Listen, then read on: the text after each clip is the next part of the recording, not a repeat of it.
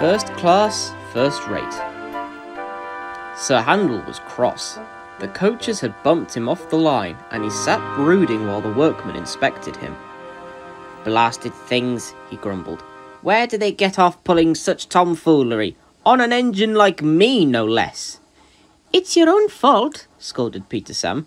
If we hadn't worked together before, I'd never have guessed you were once an express engine. You treat those coaches deplorably. As he puffed slowly away, he added, Granpuff wouldn't be pleased, under his breath. Sir Handel silently looked at his buffers, contemplating.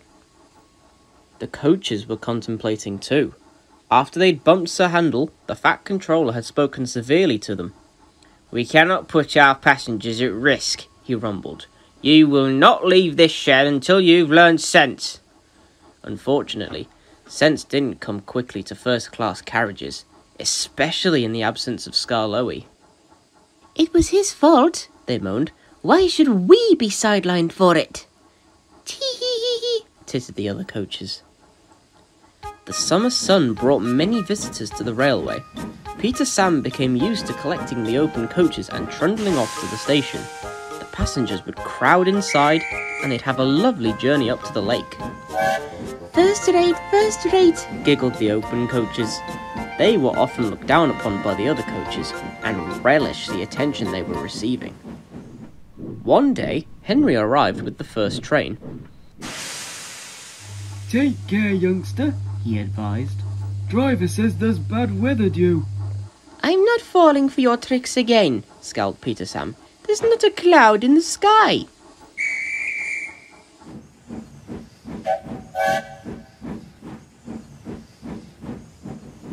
The sun shone brightly as they ventured up the line.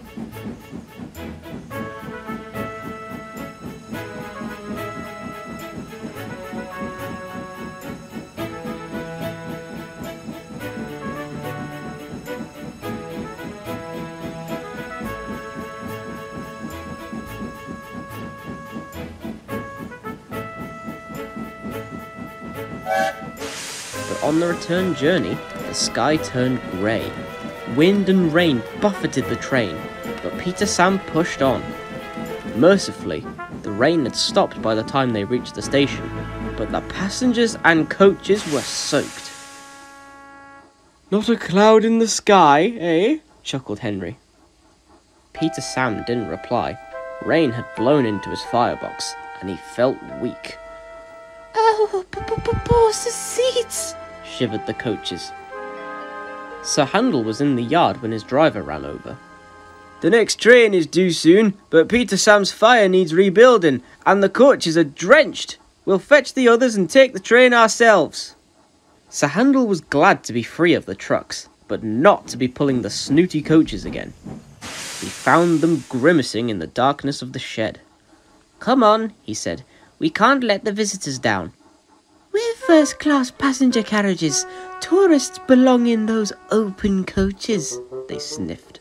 There'll be no passengers of any kind if you don't come along, snarled Sir Handel. Although, if you fancy becoming beach huts or chicken coops, you're welcome to stay here. The coaches gasped. Without any further protesting, they followed Sir Handel quickly to the station. First class, first class, they muttered under their breaths as the tourists climbed aboard. Come along, dears, come along, dears, come along, dears, said Sir Handel, trying his best to sound like Skarloey. The sun parted the clouds as they ventured up the line. The tourists were thrilled. Their cameras flashed, and they marvelled at the beauty of the line. The coaches couldn't stay cross. It was lovely to be out of the shed again.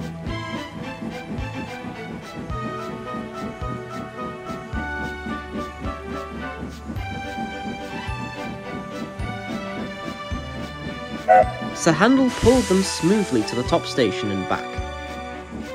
Upon their return, the tourists smiled and cheered.